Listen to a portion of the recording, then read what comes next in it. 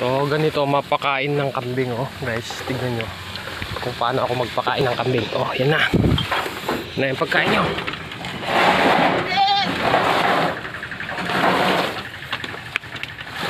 Oo. Ha? Ganyan magpakain ng kambing.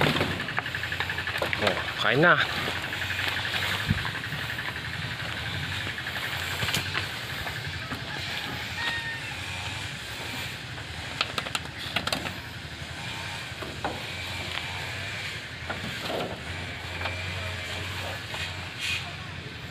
Ewan ko lang kung hindi kayo busog.